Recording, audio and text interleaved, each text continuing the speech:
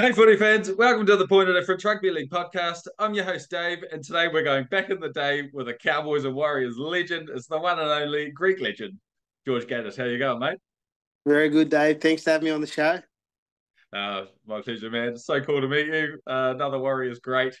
Uh, you're definitely pro Warriors when it comes to your career. Um, but uh, what have you been up to, man? What are you doing with yourself? Oh, yeah, a bit, a bit of a journey since footy footy finished. Um, I'm, I'm, long long story short. I'll fast forward. I'm I'm, I'm working in the uh, corrective services industry now. I've been um I've been uh, working out of prison now for the last eight years. Okay. Um, it was probably probably pretty apt because uh, I was I was working in my family business, and if I didn't get out of there, I, I probably would have ended up on the other side of the bars. So I, I, had to do a bit of a 360 uh, career ch- change, and um, and that became available. Um, probably probably showed to me through uh, another ex uh, um, teammate, Sean Valentine, who I played with in the um, in the Queensland Cup, and then again later at uh, Cowboys, and he'd he'd worked at the prison for a while, and I was at a bit of a crossroads, and uh, he contacted me ironically one day asking for a, a Warriors jersey, and we got to chatting, and um, next thing you know, I'm applying and um, got got entry into uh, the Queensland Corrective Services and been there ever since. Oh, yeah, that's a bit of a change from the old fish and chip shop days. yeah, yeah, no, it was it, it, it was totally unexpected. You know, I fully expected to to to be working in the in the family uh the family business till I was old and grey, but it never worked out that way. Um, so we just had to we had to do a bit of an audible and start again. True. So what's the shift work like? Um, so here you do a bit of shift work there. Oh yeah, I, for those uh, at home who do a lot of shift work, they're not fun. You know, like uh, yeah. I don't work too hard. I, have got to be particularly honest. You know, we're we're kind of there for what we may have to do, not not what we do do. So, um, but when it goes wrong, it does go wrong badly. But um, most of the times they're they're pretty cruisy nights, so I can't complain too much. Okay, it's pretty pretty hectic or like pretty scary going into a place like that. Oh yeah, I, I, but you know, I think um, I think coming from a, a sporting background well prepares you for uh, just right. being able to interact with people and you know call things out and put a little bit of shit on people and do it in a way that's not offensive. It's a bit humorous, you know. Uh, um, they they the inmates kind of like to just be treated with a little bit of respect and you know and and and don't, don't mind a bit of humor as well so if you can interact and sort of get on on their level sometimes it makes the job a bit easier right i reckon it takes a seriously special person to to go into that industry let's put it that way that would freak the crap out of me bro yeah oh look oh. The, the men's is not too bad the women's is the is the, is the is the issue. They're they're a little bit they're, they're a little bit crazy over there. You got to be careful, but no, it's it's all good. Interestingly, I actually used to drive a, a truck and do fruit and vegetable deliveries to prisons and like all sorts of places when I was way younger. It used to scare the shit out of me every week. and I had to oh, interact oh, with the prisoners and stuff, unloading the truck and stuff. It used to scare me. I was like, don't stab me. So, no, I've I've I've, com- I've, comically referred to myself as Sergeant Schultz. I see nothing. I know nothing. And oh, I think it, legend. I think it just makes for a, a, a, a bit of a, longevity career in that industry. Uh, sometimes um, the less you know, the better. Yeah, man. Oh, mate, that's incredible. well, you're far braver than I. Right, let's uh, wind the clock back, man. Um, George Gatis, where did you grow up and what was life like for you as a young fella? Oh, I, I grew up in Townsville and um, always, you know, um, from a young age, once the Cowboys become incepted into the uh, uh, the uh, New South Wales Rugby League at that time, you know, it was, it was a massive dream to sort of play for the Cowboys. Um, come through um, the forced my way into the junior grades and uh, you know, was there or thereabouts um, always, but it just um, unfortunately injury derailed me in opportune times, and I was never able to get my foot in the door. Yeah. Um, but yeah, home for me has always been um, home for me has always been Townsville, and just uh, from a migrant family. So you know, we brought up with a bit of work ethic, working in a our family fish shop from yeah. uh, pretty much from the time we can walk to the time we can talk. We're, we're in there doing something. So um, that's always held me in good stead. I think that that work ethic side of things. Yeah, yeah, man. So uh, what made you get into rugby league as a young fella? Like, uh, what was the appeal to the game, and how did you first find your way into playing rugby league? Yeah, a bit, bit by fluke, really. You know, like as I said, we we, we used to work um, we used to sort of get carted quite a bit between home and uh, and and the fish shop. Out my neighbours at um, when I was quite young in like year one and two, um, they were like rugby league stars at that time. They were young, young, really talented young um, rugby league players. Yep. And they started dragging us along to some of the football trainings, and they used to bash us a little bit in the front yard. And uh, I got a bit of a competitive streak, so you know, the the harder they belted me, the, the more I just just wanted me uh, to be able to return serve with that. Mind you, they were like six foot tall by the time they were in year three, so they they were quite quite a lot bigger than me. But you know, it, it, sort of I guess it started my hunger in rugby league and my passion for it. Mm-hmm. So, do you reckon uh, you would say you enjoyed the physical contact, like right from a young age all the way through? Yeah, definitely. I think you know. I think um, league, you've got to have that little bit of aggression in you, where, where, where or, or that little bit of competitive streak. Where if you get hit, you know, you you want to you want to hit people back. And um, I guess I built I built my game on being a strong defensive player. Um, and you know, defensively, I was always fairly strong. So, um, I, yeah, I, I definitely enjoy that part of the game. Awesome. What about the training side? And what was your position coming through? Like, did you always play hooker, or and, and did you enjoy like smashing yourself doing the training? Oh, look, I was didn't know too much about training from a young age. You know, like I love the I love the the comp- competitive nature of sport from a young age. I, I, I know that, and I was I was always a back row, but I was always going to be a little bit too small to play, probably back row, given these um the size of the the players these days in in NRL and, and top flight football. So um, I realized realized probably um, you know j- towards the end of June is that I, I need to move into hooker, and I just sort of made that move, and uh, it, it was a good one for me. Okay, so what were the clubs you were playing for in your junior footy before you like made it to that NRL level or into the junior system for NRL? Um, look, I played. I, I, played for my, my local club here, um, Centrals, and okay. um, you know, it was a very very strong junior club in Townsville at that stage. Um, surrounded by a lot of good people, and and, and come through that system, and um, probably probably wasn't until I was around about 17, 18 where I really started to, I, I guess I, I, blossomed a little bit. Yeah. You know, I just I really worked hard on a bit of areas that I needed to, my speed, my fitness, and um, um, and that started to to to, to equate onto the field, and I got some good results and um, kicked on from there.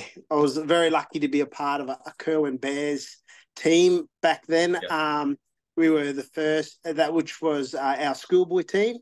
Um, Back when there was the Commonwealth Bank Cup competition, and we we were the first um, team from pretty much from Townsville to to make the national semi-finals. And um, wow.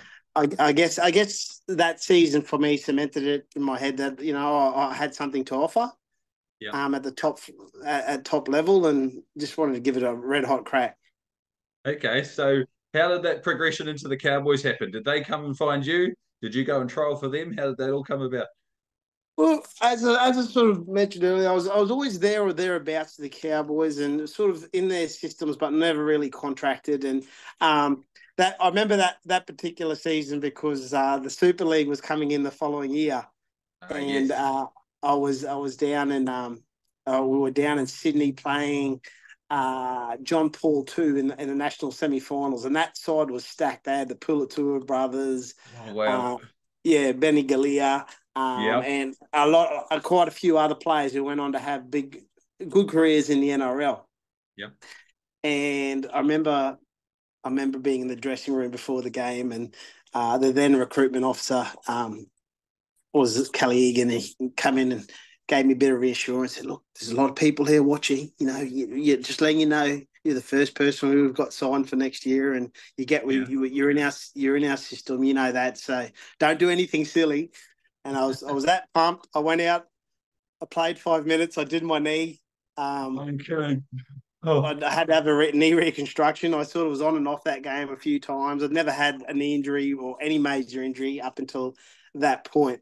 Um, and I remember never hearing another word from, oh, from Keegan regarding that following season. So it was, you know, a bit of a, a hard lesson into the reality of uh, professional sport and how cutthroat it is. Yeah. Um, and, and, that sort of started me, I guess, um, on on on my on my on a, on a different path of my rugby league journey, and I had to sort of go away and start again. And yeah, uh, went down to Queensland Cup, played for West, just turned up on their on their doorstep, and uh, played for that wonderful club. Yeah, um, in the Queensland Cup. Um, as there was there was no there was there was nothing here for me in Townsville anymore. They'd made it pretty clear that um, really? they'd gone a different direction junior wise. Okay. Um, so I went down to um, Wests in, in, in Brisbane and made some lifelong friends there and got to experience uh, a brilliant rugby league culture mm. um, mm. that I'd never experienced before. And okay. the only only place I probably experienced that um, great club environment or great club culture since then was the Warriors. Okay. Yeah. Um, so it's funny the way footy sort of takes you on these little journeys and takes you different yeah. places. But yeah, I, I, had to go down to Brisbane and and work my way back through the rugby league system and prove I could I was worthwhile to earn an opportunity to play in the NRL. Absolutely. So uh, how did it all come back around that you ended up signing with the Cowboys uh, and you made your debut in 2001 if I'm correct? Yeah. Well, yeah, so, you know, so what was that journey?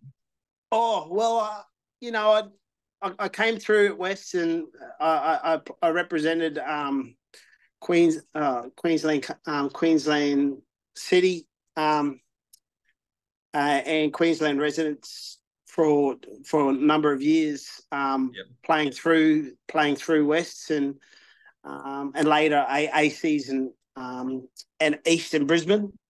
Okay. Uh, I, I, did end up leaving West for a year to go play for East, which, um, despite East being an incredible club, was a massive mistake um, okay. in my career, and I always I'll, I'll, always regret that because you know West were such a good club. Um, But I, I did, as I said, I did get to represent Queensland residents and um, made some rep sides and uh, was uh, more or less, I contacted Cowboys and said, "Look, I just want to come home." Or, you know, I, I guess at that stage I'd done enough for them to uh, consider me as maybe a, a, valuable addition to their club if they had injuries. Okay. And uh, I rocked up. They they uh, at that stage Tim Sheens was there, and um, they did give me an opportunity to to, to come back and okay. and just trial and train. And uh, at that stage, oh, there must have been five. They they made it very clear there was probably about five players in front of me for the the hooker position. Oh man! and um, yeah, and I, I said, "Yep, I've got no problems with that." For me, I'd I'd I'd I'd, I'd gone as far as my rugby league journey, staying away from home. That I was prepared to do. Okay. So I said, "Yeah, I'm prepared to come home and and and fight and and show you what I can do." And went back and just made a point to, you know, every fitness event, you know, every every contact session, every skills thing to try and do my best to, you know, um, get the points on opposite number uh, from yeah. from a training level. And okay. um, they ended up um, giving me an opportunity to um, stay on for the year. Yeah. And I ended up finishing the year in, in, in the NRL in 2001 and, and um, got Rookie of the Year. That's um, amazing. Yeah. what the, yeah, what the so fight back. Yeah, well, I, I may have been further down the list to be perfectly honest. I was um I may have been further down the list. I wasn't I wasn't held in the highest regards, but I, I think my work ethic um in the end sort of won people uh won the coaching staff over there. Right. And um yeah, I got I ended up um on a three year deal at at the at the Cowboys from yep. 2001 to through to 2000 and uh, 2001 as I said I, I think I played six, 16 NRL game 11 NRL games and I got rookie of the year uh, the next year the next year I, I played um, roughly about 16 17 games and um, sort of learned my craft a little bit yeah. Uh, and 2003, I was primed for a. Uh, I was as fit and strong as I'd, I'd, ever been, and I, and I, I thought, oh, this is this is my year. I'm going to have a. I really felt ready to explode, and yeah. I got selected in the um in the sevens. I got sweet. selected to play in the sevens, and we went went down and played um in Sydney, and I literally broke my forearm in the in the first match. Oh, you're kidding! And I remember, I remember I came off that game, and um, I'd, I'd gone to hit Danny, Danny Nutley, the little short oh, nugget. Mate, he's. Um, yeah, and, uh, and he just he just popped up his little his little elbow, and I just clipped his el- uh, his forearm, and I just clipped his elbow with my arm, and and and I just I felt it go dead. Yeah. Um, and ended up finishing the game, but I didn't have too much grip because they're short matches they were, they were, they were short matches, and I sort of told the told the people there at the time, I said, oh, I think of, you know, it's something, it's something wrong, and they yeah. and they, they got my arm and they and they twisted it, they twisted it this way, and they they're pro, poking, prodding it. They go, is, is there any pain there? I, no, I said, no, you're right. You've just corked it. Okay. Um, yeah, just corked it. You'll be right for the next oh, game. So all right. So I ended up um, there's a few hours gaps between the games, so I ended up lacing up and done the warm up. And during the warm up, said, still feeling a bit, you know, a bit sore. Yeah. I said, oh, I've done the tests again, and it kind of felt like you're whinging a little bit. okay. And, and, and I didn't want to give up my opportunity because we were fighting so hard for positions at the Cowboys. There's a couple of really yep. good players there. Um, you know, we were all jostling for spots. Yeah. So we ended up going back out and um, we ended up playing. Yeah. I came off and again. I said, "Look, this is really sore." Like, and they go, "Oh, give us a look at this again." And they done all the tests. and said, "No, no, look, we'll send you up for a scan just to be safe, but yeah. you're uh, you'll definitely be you're right for tomorrow." And Ty Williams at the time was in the in the in the side. Um, yeah and he had, had a poke in the eye. They said, "Oh, you, you'll you will you'll definitely be ruled out for tomorrow, but we'll just send you up precautionary." Okay. And, and ended up going up to the hospital. I'd done the, the scans, and I'd, I'd, I'd done what they call a Galeazzi fracture on my forearm. Okay. Um, and, and what a Galeazzi fracture is, it, it, it breaks your radius and dislocates uh, dislocates your radius from your ulna at the um at the wrist joint. Okay. that sounds horrific. yeah, uh, it wasn't fun, and no. and that that marked the end of my Cowboys career. Really, like pretty much really? while I was, I missed, I missed the the next eight to twelve weeks, and yeah. while while I was injured, we had signed some terrific players. Paul Rahi, he come to the club. Campion oh, wow. was there. Um, yep.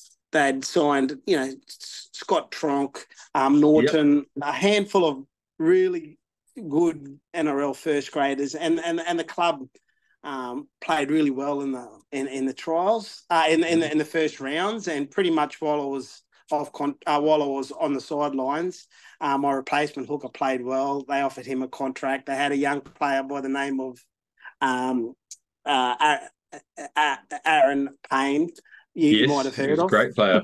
yeah, unfortunately, he was a great player. he went on to he went on to play 300, uh, 250, 300 first grade yeah. games for the club. Amazing. So they had him in the wing. So more or less, while I was on the sideline injured, they, they made the decision that I was going wasn't going to be resigned for the following year. Oh, and was a bit bit of pill to swallow. And I'd, at that stage, I was resigned that you know rugby league was over for me, and that was it. Okay, so you left at the end of 2003, and yeah. what happened next? Because you just kind of fell off the radar and off the map completely. What happened to you in those few years? Well, um, we, as a family, we decided to um, expand our family business. Okay. Um, mum and dad had a little hole in the wall fish shop, and um, a little hole in the wall fish shop in Townsville was very successful for a number of years. And we had a we had a, an, uncle down in Sydney who'd who'd had a, a, much bigger operation, but same quality of food that we had, and we, we made a decision to try and uh, replicate what he was doing down down there up here in Townsville, and, and that was very much uh, a decision with my with my future in mind. Yeah. And um, so pretty much for me, rugby league was over at that stage, and um, okay. I'd moved moved on, and it was it was, always just going to be a, a part time uh, affair for me. After that, I, I, didn't play in two thousand and four. I had the year off, pretty yep. much. Okay. Um, two thousand and five, I played. Uh, oh, sorry, two thousand and three. I'll go through. Two thousand and four, pretty much had the year off. Two thousand and five, I played local league. Okay. And um, and it was in 2005 where um, Kevin Campion it was by that stage had cemented himself out at, at the Warriors, and we had become okay. very good friends. We had become very good friends from Cowboys, and I think I'd, I'd earned his respect for the way I sort of carried myself through uh, my final year of my contract at the Cowboys, and what he'd seen of me training wise, and how hard I fought for my spot. Yeah. And um and, and fought to get sort of get back into the system and um, yeah, he we'd become quite good friends off the field, and he came to my shop and checked it out, and oh, I, remember, I remember him being over the counter. And, yes, oh, it's, it's great, it's great. What are you What are you doing? You look fit. What are you playing? I said, oh yeah. I said, yeah, Campo. I said, I'm, I'm, I'm, I'm, I'm all dressed up with nowhere to go. I'm here and um, I'm just playing in Townsville. And he goes, oh, you still look like you can play. You want to you want to come over to New Zealand? We need a hooker. And I went, oh, Campo. I went, don't muck me around. I haven't played for bloody better part of three seasons. 2003, I was pretty much fully injured. 2004, 2005, I was running around local league. So pretty much the better part of three seasons I um, in the in the league wilderness. He goes, no, I'm serious. I'm serious. I said, no, don't fuck me around. He goes, no, you, I'll send you a contract tomorrow. And sure enough, he sent me a, a contract through, um, which was was about ten thousand dollars and match payments. It was a, oh an incentive, God. an incentive contract. Oh and, my god! And I, I remember I remember asking Darcy, oh, "Do you reckon I can have a crack at this? And he goes, oh, one year, one year, one year. Yeah. So I, I they trained trained pretty hard here in Townsville. What I thought I really wanted to try and go over there quite fit. Yeah. And um and there was quite a few in North Queensland based players over there at that stage. So he was lucky over there. Lucky, Grant Rovelli, yep. Nathan Fien. So oh, the, yeah. um and, and even and even Brent Webb. You know, there these are all players that were sort of grew up with the Cowboy system, okay. and, we were, and we were great mates. Um, oh, so it made, the great to, it, it, made the decision to go over a little bit easier, and it was it was just a, a, an itch that I, I needed like the scratch for my own my own peace of mind. I guess I, in my mind I sort of thought I, my future's set up here.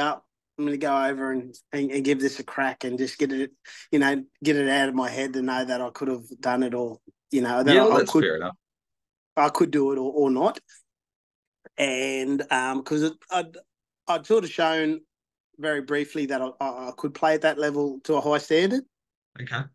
And it, it left a bad taste in my mouth the way it finished. So going over there was was a super challenge, but it was just a blessing as well. I, I just had the best rugby league experience, um, and you know, gave me uh, a, a, feeling of what what you know what it was like to, to play in the NRL and and and it was special time for me because I, I earned the respect of some uh, some magnificent players, made some magnificent friends, um, yeah. and yeah, had the time of my life.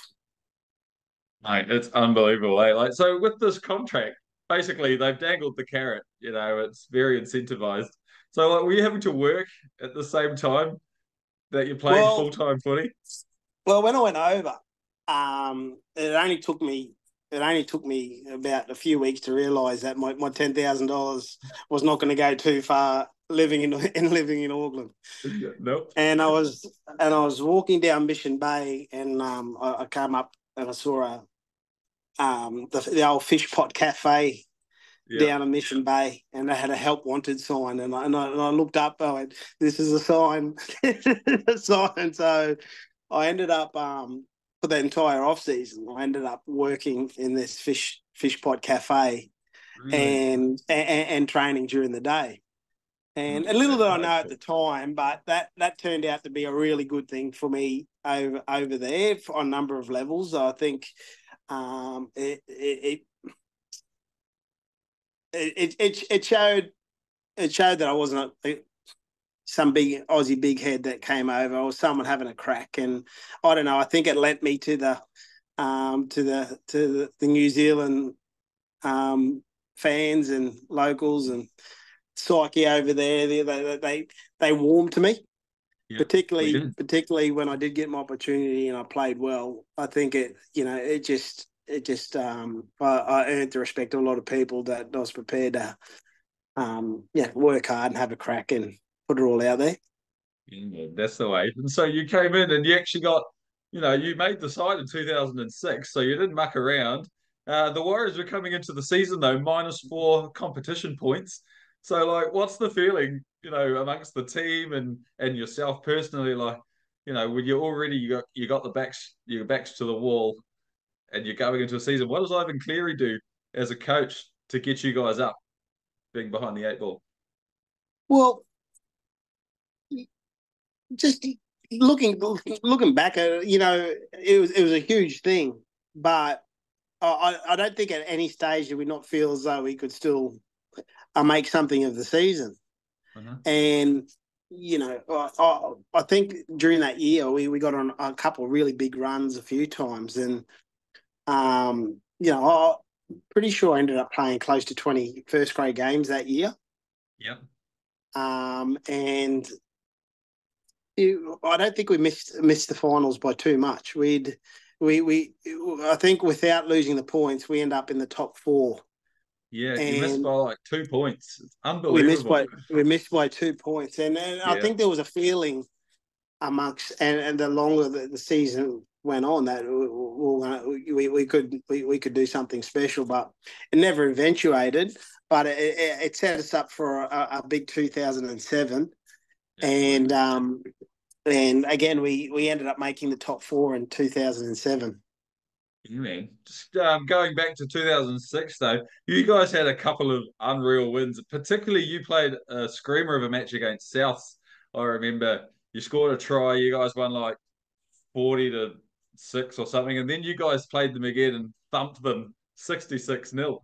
And uh, I couldn't believe what I was watching, mate. You guys were on fire that that that side was just made up of some quality people and and, yeah. and exceptional footballers. You know, like it. Uh, it was one of the massive draw cards for me to to to go over to New Zealand in the first place to to play behind a, a, a you know a front row of the likes of Ruben Wiki and Steve Price. You know, yeah. it's once in a generation will you ever play behind as a as as a hooker to get to play behind two class players like that, let alone some of the other forwards that were in that side. Logan Swano and couldn't build, uh, yeah. uh, Epalahame Lauaki, um, um, Wairangi Koopu, yeah. um, Louis Anderson. The, the, the names go on and on. And then, you know, they also have players included in there like Michael Luck, who's a very close friend and, and still yep. is. You know, it was it, it, was a special team to be involved with and, and play alongside and yep. um, yeah, it was definitely a really uh, It was it was a close knit side. Everybody really gelled. We were a lot of very different characters. Yeah, Um, probably, ma- ma- you know, uh, probably what, what Wade McKinnon probably being the most different out of all of those characters. yeah. Um, Do but, tell. um, you know, but oh no, just just a champion bloke. But we were just it was so uh, the side was just made up of so many different characters, but it just it just it just worked. It just really worked, and everybody Yeah. gelled. And um, yeah, we- it, the, the two years I was there was just you know the friendships made and um, uh, the connections in rugby league. You know, you've got them for a lifetime, and um, it, it was it was it was a real special time. Yeah, man. So 2007 for me personally is one of my all-time favorite Warriors seasons. You guys were unbelievable. I think you had one of the more underrated spines without being disrespectful because you had like yourself, Grant Rovelli, Michael Witt, who had all just like at the time, like it's not like we had a Jonathan Thurston in the side or anything like that. Stacey Jones had moved on, and you're kind of relatively unknowns at that. And then even Wade McKinnon came from Parramatta, and he was kind of in and out of the Parramatta side. And then Brent Webb moved on, and all of a sudden we had this unreal spine of just attacking players. It, actually really worked with the forward pack we had as well, like you said. So um, I thought it was a stunning side. Just you guys tore some teams to shreds. you know? I, I, yeah, look, and and mo- most of those players, the, most of us there, you spoke of, just very hungry. You know, hungry to play first grade, Yeah, and um, and and throwing a little bit of belief given to you by your- by by coach and um, Ivan Cleary and coaching staff, like um, you know, I think he got the best out of everybody there, uh, Yeah. and he and, and he had a way of doing that, and and just you know by utilizing the other coaching staff that were there, and um, he you know he didn't didn't have to talk a lot. Ivan, he, he sort of he, he knew how to get his message across, and yeah. if not through himself, through as I said, through the other coaching staff, but um, he just struck a really good balance, and I think he got the best out of all of us there. Yeah, man. Um, was there any particular game that stood out for you during the regular season? Uh, that you know, because there was one for me that the thrashing of Penrith, you guys absolutely annihilated them. Wade McKinnon went crazy. The whole team did. Um, you know, uh, I think you smashed Newcastle as well, something like by fifty-two points. Unbelievable. We we we gave a few we gave a few sides uh, a, a real big touch up. Um, Yeah, that that season, and for me coming from the Cowboys, it was like it was get, getting a revenge on some of the early years at the Cowboys where we just got hammered, and just just learned never to give a sucker a break because you know as as I think most players that come through at some stage play in in a sides that are, are struggle and to sort of get over there and experience some of the highs Yeah. um, uh, of, of of being being a part of such a successful team and such a such a good team. It was it was just it was just like living a rugby league dream. Like I just loved it. Yeah. Uh, definitely, definitely that Penrith game over in. Uh, we, we we played Penrith over there. We we we were trailing, I think, fourteen nil, and I, I I had a pretty good game over there. I'd sort of set up a couple tries. Um, Yep. I, I, I scored one and, and, and set up another, and uh, I, I helped get us back into that match, and we ended up winning that side and uh, uh, winning that match, and helped us to sort of cement our top four position. That's right. Um, yeah, that was that was that was a special one. Um, yeah, that was the last last game of the season before going into the playoffs. I think that's right. yeah, yeah. Yeah. Um, Amazing. Also, you know, just ha- having the being able to have the privilege to play at Mount Smarts um, Stadium when there's uh, capacity crowds, and you know, I remember. You know, they, they, they we, we played a few matches there where you get on a roll and the crowd really just turns out for you. You know, it, it, it's a, it's a magical place to play. Um, and I remember, I, I remember a very sad occasion where we, we, we lost against Parra um, in the semis. Um, Yeah. And they, they called the blackout and everybody came in black. And um, Yeah. we got off to a, it was just an unbelievable atmosphere. We got off to a flying start. and um, we we I think we were up 12 14 nil, and yeah. and um, we had all the running and. Uh, we probably bombed a couple tries, but one in particular where um, we we we left a try um, short of the try line there. Um, yeah, big, big Logs had Marty yeah. outside of him, and he threw the dummy. He got he got he got tackled by an inch short of the try line. Yeah, that and, one stung. well, we, we didn't see the ball for for the next 40, 40 minutes in that match, and I think we ended up losing by four by four points. But that would have put the that I think that would have put the the nail in the coffin of that Paris side, and that was a star. Uh, star started Parramatta side at that stage. They had all the big guns there, and you know, yeah. um, and and then we had to come up and play Cowboys in like thirty eight degree heat at two o'clock in, in black jerseys. In, oh, in, that's rough. that's rough. In, in, the next semi, and they, and they, and they and they tailed us up. Um, but yeah, uh, look, there was, and that was a big low. That was a big low point. You know, it was a. I just I, I felt like we could have really done something if we'd have gone past Parra. Yeah, yeah, we sure. just were we're on a we're on a big roll. Uh, we were playing well, um, and just just the timing to have to go up to play Cowboys at their home field in that semi semi final uh, in that in that weather. It just unfortunately didn't suit suit our side. No. Uh, particularly when you have you've just played all night games pretty much for the past, you know, 12, 12 games of the season playing in four degree temperatures. it was just too much of a shock to the system. But who who knows? We, we, we might have been able to go a couple steps further uh, in that 2007 season. I really think we had the side to do it, but yeah, you know, uh, it was it was just it was just a pleasure to be a part of it. Mate, as a fan, it was epic. And uh, when I was messaging you about doing this, you know, I mes- mentioned that um, I actually got to meet you guys after the Newcastle game at Mount Smart. Um, when you know you mix and mingle with the members and all of that. And yeah, man, I I shook everyone's hand and got my photo with everyone. It was awesome. like how good, like to be, you know, mixing and mingling with all you guys and wow, just what what a season. It was it was a special season. I really enjoyed that one. Um really, really good stuff. But uh so what were the guys that you hung out with a lot? You know, um I hear there's some pretty good stories out there uh involving fire and locker rooms and uh who are the sort of guys you hung out with oh, and some of the I stuff forgot. you got up to? I've forgotten all that.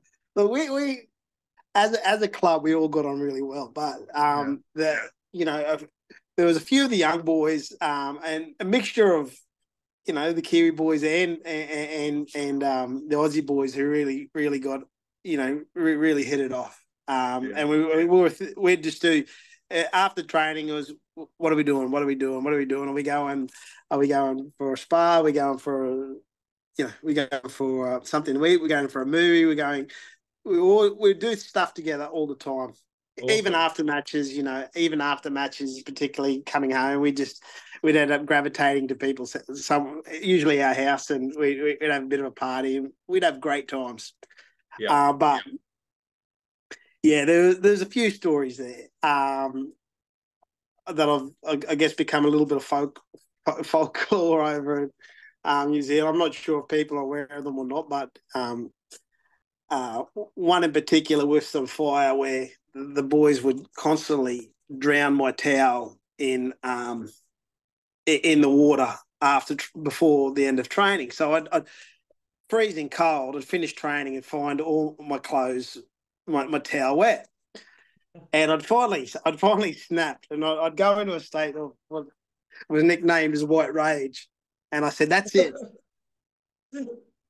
one, I said, I rounded it down to about four people. I said, I know it's one of you four. So one of you better snitch the other one out because otherwise you're all guilty by association and you won't like, there's going to be consequences and repercussions. and no, they, they just thought it was funny. They just took the piss out of me. Anyways, I was living with Michael Luck at the time and at the end of training, I, I, waited. I was fuming. I was just in the white. The, the mist had really set in, and I said, "Lucky, stay here." He goes, "What are you going to do?" I said, just stay here. Yes. And I, I handed him a garbage bag. I said, hold this. He goes, what are you doing? Just said, hold this. And I started just emptying the locker of all those four that were involved. It was Lance Hohaia, um, uh, Tony Martin, Wade McKinnon, uh, who else? Michael Witt. They, they were all involved. I said that. So I got all their gear. I just emptied their locker into a bag, and then we took, we went to the service station at Ellerslie, yeah. and because we just lived up the road from Ellerslie, opposite the the BP, opposite the uh, Ellerslie training grounds there, and we used right. to train there a lot. So I said, "Lucky, film this. We're recording the whole thing." I gave him the phone, and we labelled it "Hate Crime Part One." And "Hate Crime Part One" was filling the bag with petrol. And I was just, I was at the service station. I just had the petrol bag, and I put about oh, I must have put about five liters of fuel in this, oh this bag. and the um the service station attendant, he was a Mad Warriors fan. He just had the yeah. dreadlocks. He was a uh, poly boy. He was just he was just laughing his head off. He said, "What are you doing?" I said, "Just just keep watch for us because we're going over to the Ellerslie Fields." So then we've gone over to the Ellerslie Field once we filled the bag full of fuel and said, all right, Lucky, film this. This is hate crime part two. so I've basically emptied all the um all the all the bag, the contents of the plastic bag, big big wheelie bin plastic bag onto the ground, and all the drenched clothes in petrol. And I um, said, "Hate crime part two. This is what happens when when you uh, he's he's want to muck around." I said, "This is the consequences." and I've lit it up. Well, it was it was it was raining at the time, and we'd gone under yeah. a tree where there was a little bit of um where there was a little bit of um shelter from the rain. Right. But little to my knowledge that all the undulations of this pet uh, of of that hill had sort of slope back towards the clubhouse, down the hill, all over the place. All this petrol had just spread everywhere. I've I've I've lit it up. there is fire just heading towards the Ellerslie Clubhouse down the, coming down coming down the hill. Oh my god! Before you know it, I'm I'm trying to stamp it out. Lucky you could hear on the video, Lucky going, "Get it out, get it out!" I'm trying to stamp on it, and the more I'd stamp on it, the more it would spread the flames. and um, anyways, we've we've heard sirens, and that's it. Man, like he said, we got to get out. We got to get out of here. we jumped in the car because it's that big long driveway to the Ellerslie clubhouse. There's one way in, one way out, and we've got mm-hmm. out and we've got back to the club, and we've gone. We've had to call old Don Mann and say, "Look, mate, we've we've done something bad here, Don. we've done something. We've, we've done. we, we, we, it was like yeah, it was it was kind of like a scene out of um yeah uh, out of a movie there we've we've we've stuffed up we've we've, we've and he's he, he's buried it for us but yeah that was a that that video got circulated quite a bit. I i, I wish i still had it because it'd be hilarious to still have today but um i ended up i ended up getting um we ended up playing that weekend against sharks and we lost. And okay. I, I, remember, I remember getting called into the the the Tive and Cleary's room uh, Monday morning, and he just basically tore shreds off me that and that they that I'd upset the preparation for the team and and, and that, that they shouldn't have never got that far. And I, went, and I remember at the time I was in no right to really dispute anything, but I, I held my own. I went, hang on a second, what about my preparation? I said, every day I'm, I'm, I'm having pneumonia because they want to mess with me. But when I respond, when I respond, it's my fault. I went, no, fuck that. I said, this would not have happened if they didn't touch my shit. If they don't touch my shit, that this this doesn't happen. and, and, and, I remember walking out like, oh, that's my career over. I think oh I, I my god! I think I may have ended up playing a, a one game um, of penance down in reserves and um, finished out. That's a great story. yeah, it was Shot. funny times. Top shelf story that one. That's great. So um I had Corey Laurie. He was one of my very first podcasts last year, and he is an absolute legend. He's the most funny guy. But he, he, he talked a bit about Mad Monday, where Wairangi Koopu was going around with lighter fluid and setting everyone on fire and unbelievable stuff. But um, apparently, you guys all went off to Vegas, and uh, he, he said that the name Rita Wagner might ring a bell with you. Look, we'd we'd we'd we'd gone over there and we had we'd we'd, saved a lot of money and we'd you know we were basically drinking quite a few days quite heavily over there. And at one point i've sort of gone you know what guys? We probably should get get a show in or something while we're here. Like uh, you can't come to vegas and not get a couple shows in.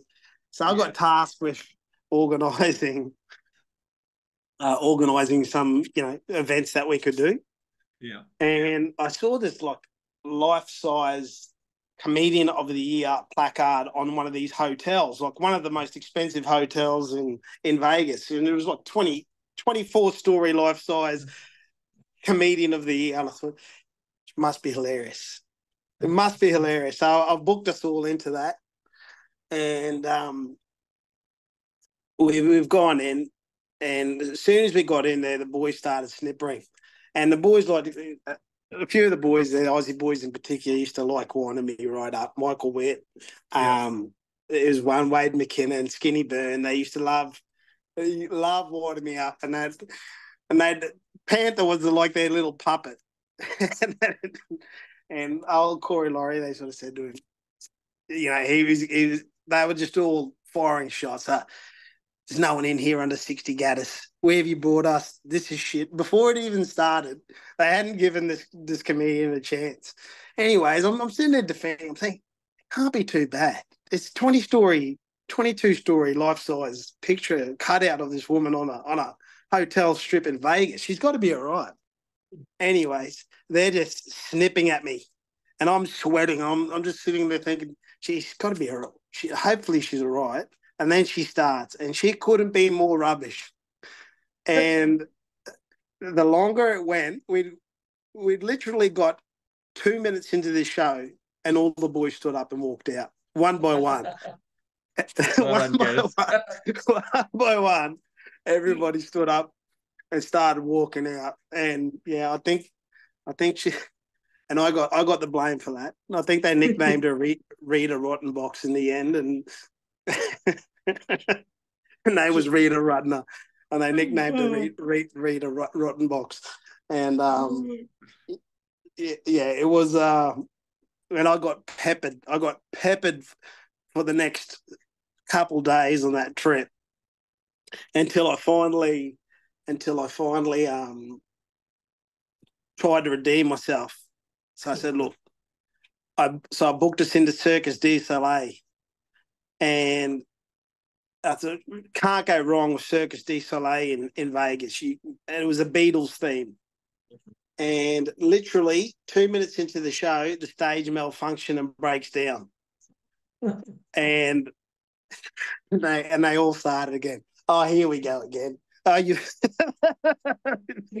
way to go, Gatis. You, you, you're single handedly trying to.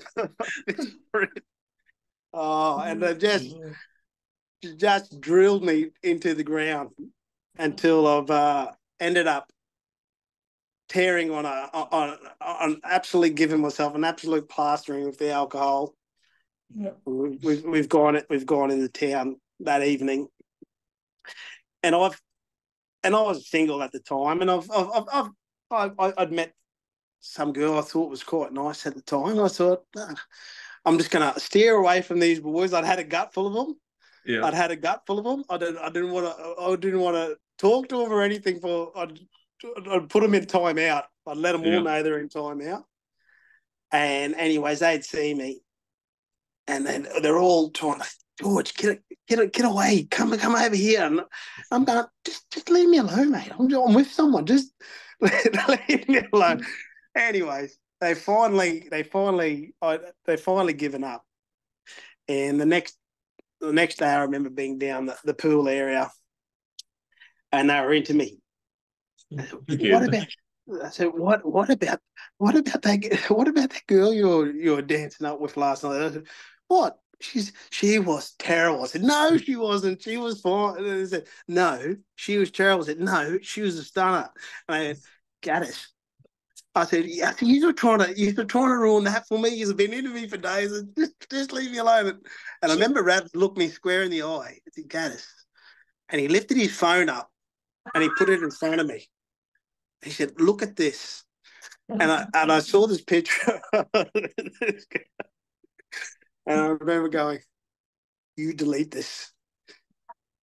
You, I said, "Raps, if you value our friendship, you delete this photo." it was it's gold. It's it was gold. My, it was my shallow hell moment, um, where I, I, I saw this beautiful woman, but in in the cold light of day when I saw that photo. I realised at that point it had, it had come rushing home to me that the boys were trying to save me. they weren't trying to put shit on me; they were trying to save me. And oh, I've and big I've, I've for the win. I've I've copped I've I've copped shit about that incident ever since. Those those yeah. incidents ever since. Oh, that's hilarious, man. That's hilarious.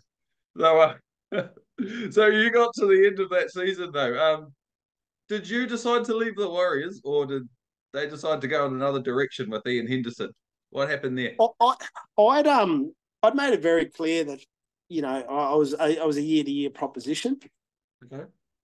I'd made it very, very, you know, I was very much playing on the goodwill of my father at that stage. The business was set up for me, and um, and I'd sort of stretched the friendship to play the second season. Okay, and I, I would have I would have loved to play another year, but I, I, I couldn't have committed beyond another year. And I remember sort of having that conversation with um, Ivan earlier in the year, and I, I guess it, it, um, it probably sealed my fate. You know, rugby league's a um, is a professional sport. They need to secure their salary cap, and uh, towards the end of the year, I, I just said, "Look, we've made a decision to to go a different direction, and um, you know they kind of it kind of made sense that they, they needed to secure their their um, their roster for the next coming seasons. Yes. Um, but yeah, and, and we, sort of um, which was difficult at the time. Um, and and I, and I, and I wish I could have I wish I could have stayed on a few years longer um, yeah. at the Warriors because you know it was just it was just such a great club to be involved with. Yeah, yeah, it was. It was great having you there. I was real shocked when they announced you were leaving. I was like, "Oh, what? He's been playing great, you know." And the comeback kid. I would have, I would have, uh, in in hindsight, you know, I wish I could have done so much different. Um, you know, I wish I'd just seen my my and let my NRL career play out and probably not worry so much about um, the the family stuff back home. But you know, I, I I guess I'm not wired that way. I, I I've always I tried to sort of prioritize um, um, my my family responsibilities um, while. I played, and okay. um, which which probably cut my career short um, over in uh, England. I did I get I did get an extra year to go over to England. Yeah. So what um, happened there? Yeah, I, I um I got I got signed at Huddersfield, and you know it was uh, very very much again. I got signed for two years, um, okay. but I was I was looking at it from a uh, a year on sort of basis, and pretty much six oh, not even six months, about four four to six months into my playing stint there, we had some family dramas at home, which uh, okay. was putting a lot of pressure on on my father.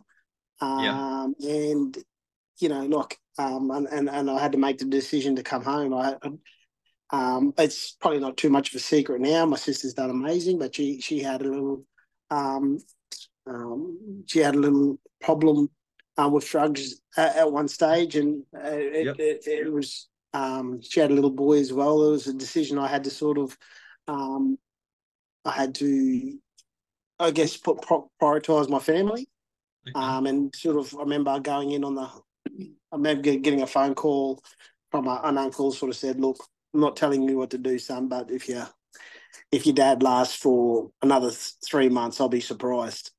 Okay. Oh wow, that's a tough so, time, man. Yeah, so like he's just stressed out. So you know, I ended up I got to have that conversation on Saturday.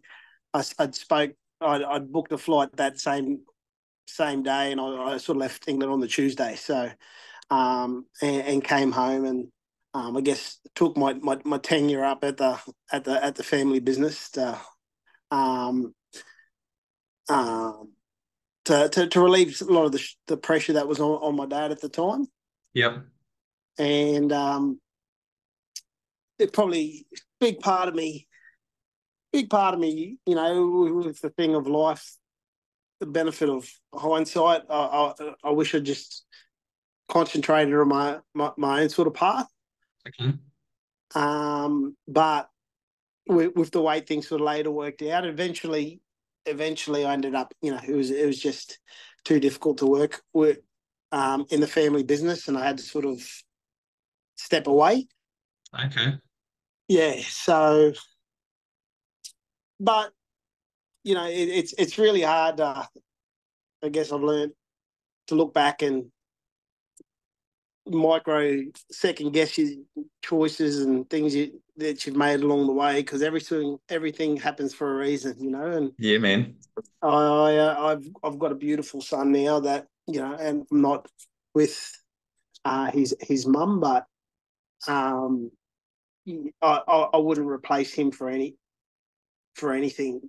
Um, the just the thought of not having him in my life in some capacity now would be uh, uh, uh, unfathomable. So if yeah. I, if I had have gone a different direction somewhere along the line, I, he he wouldn't be in the picture. So you know everything I guess happens for a reason. Yeah, man. What I learned from that experience, you know, there's just how blessed the time that was over there. You know, we just the, the quality friends that you know I made over there. Um, I'd like to think you know lifetime friends. are just and it's probably been probably been a, a, hard period of life since footy finished um, for a number yep. of reasons, and probably probably fell out of contact with a lot of the boys over there.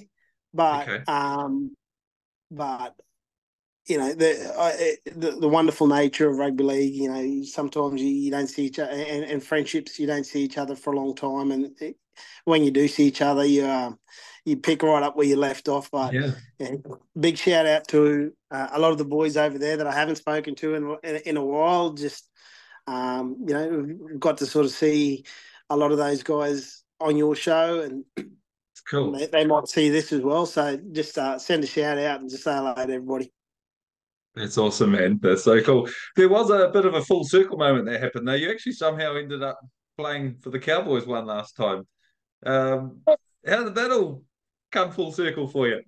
Oh, look, I, I was in good nick when I came home, and um, the the Cowboys, I guess for sure, and I, um, they, uh, I, I just made it known to them I was home, and you know, like I, I I'd, I'd be happy to, um, be involved in the club if there was a position, and they they they opened their their arms and let me um welcome me back into the club, and it was um I think Neil Henry was the coach at the time um, yep. for, for that season, and just um, I was essentially I was working, um, training in the morning early, going to work during the day, going back and training in the evening, playing in the Queensland oh, yeah. Cup. Uh, it, it, was too much. It was too much. I ended up getting getting uh, a game in there um, towards the back end of the season. Okay. Um, but uh, it, it, by the end of the season, it was just um, it was just too much, and I just had to I had to call it quits. I, I just couldn't I couldn't juggle all those balls in the air. It was just killing me. Yeah, man. So, what's uh, the frame of mind when you've made that decision? Right, I'm done. Like, what does a player go through? What did you personally go through when you like really have cut that cord? Like, where you're like, right now it's time to move on. How do you, um, how do you um, cope with that? Look, I had a d- different focus at that time. You know, I was really focused on my um, uh, on making my, my, my my business a success. Yes. So I guess it it, it, it softened the, the the blow of that, Yes. and you know I, I think I think that sort of final year at the Cowboys sort of just um l- or not left a bad taste in my mouth, but it just it just um yeah, just highlight it, it wasn't the it wasn't the same experience that I got to have um over at over at the Warriors where you know I was rewarded for effort. Yeah. And that's that's what I that's what I really loved about um my experience with the with the Warriors. You know, they they they you, you play you trained hard um and and if you you back that up on the field they they reward you for that effort and um I, I didn't feel like I got that opportunity at the Cowboys and I, like unfortunately I just despite being a local junior here I probably never quite got a great run at um uh NRL um with the club um, Yeah. Still love the club. Still love every minute I got to play there, but it, it wasn't just that um, great rugby league experience that I got to feel um, playing for New Zealand. Yeah.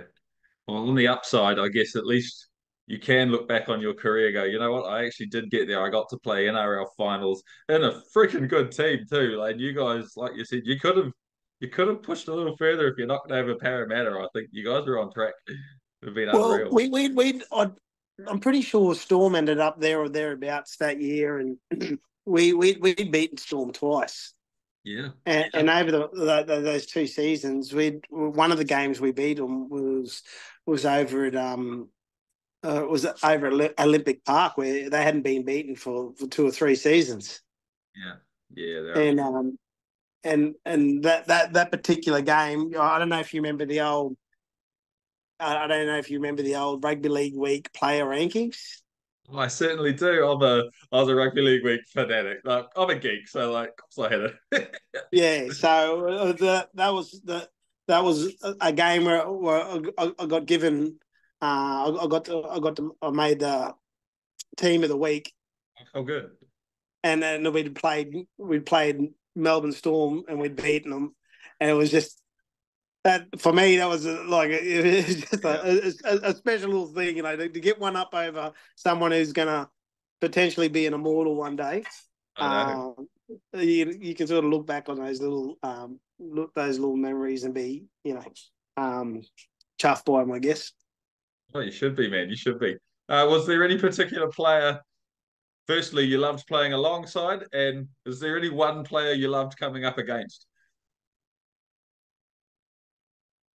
Um. Oh look, uh, the camaraderie we had in that Warriors side um, was, was special, and, and you enjoyed playing with a lot of different people for different reasons. I, I, I think there's very few and far people who would say that they, they don't love playing with Ruben Wiki.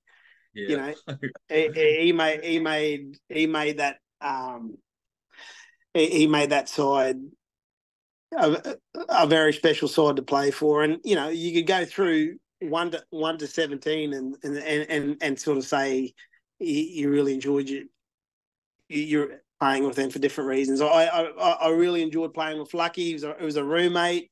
We were very close. We become very close in New Zealand, um, but definitely put Ruben right. Put Ruben right at the top of the list.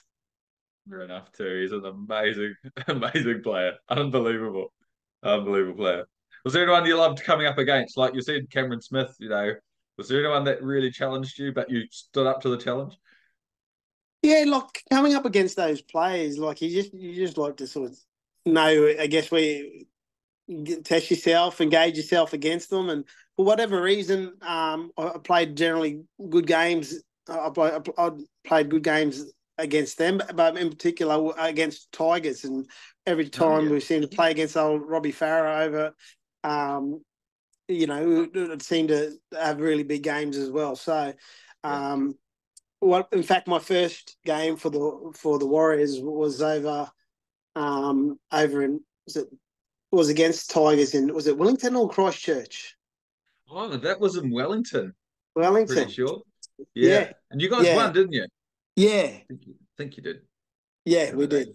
Yeah. So oh, good. so- Uh, but even from from Cowboys days, just for whatever reason, every time we play the Tigers, it just seemed to have big games. So I definitely enjoyed the competition of playing against uh, those, uh, testing yourself against those bigger name players, and right. Um, yeah, it was very lucky, lucky enough I got the chance to do so. Oh man. So let's finish with a few of my fun questions. Who do you support in the NRL? Well, definitely, definitely Warriors and and yep. Cowboys as well. Cowboys, um, my, my little boy's here, so I try and take him to every home game. And you know, he's just getting to a fun age where he's starting to cheer and shout, and you know, start the chants and claps around the oval. So yeah, definitely those two sides. That's awesome, man. So who do you think is going to win the NRL in 2024? I think some big questions were answered on the weekend. I mean, uh, I think Broncos and Panthers have cemented themselves as front runners. You know, even even the, Broncos are injury riddled at the moment. They have um, they've got some class in their back row, some depth there, and yep. you, you're going to take a very good side to beat. I think Panthers or, or Broncos this year. Yeah, man, it's so hard to go past them for a rematch. It could happen. It could happen. Well, Ro- Roosters disappointed me on the weekend. I thought I thought they had a little bit more go, and and I think Panthers sort of showed that they're they're you know they they they've got a, quite a way to go to be able to match them. So yeah, um, they they were the other side. I, I thought were were coming along sneakily. Um,